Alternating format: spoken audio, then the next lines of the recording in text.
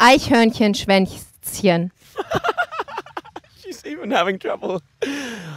Einschönchen Like uh, sexually transmitted disease, it sounds like. We move on. Leichtathletikstadion. Ja, äh, Athletic Stadium. Leichtathletikstadium.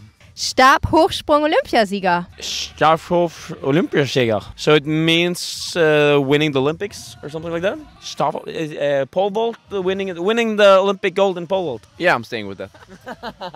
Streichholzschächtelchen. Schätzchen.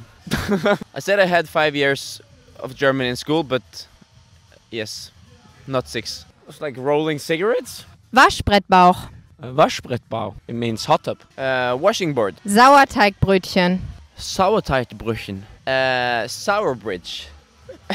It means park bench. Straßenbahn Haltestelle. Straßenbahn Haltestelle. Uh, Like a subway thing. Uh, Like a bus that goes on rails. Uh, U-Bahn. Quietschentchen. Quizsession. Quizsession?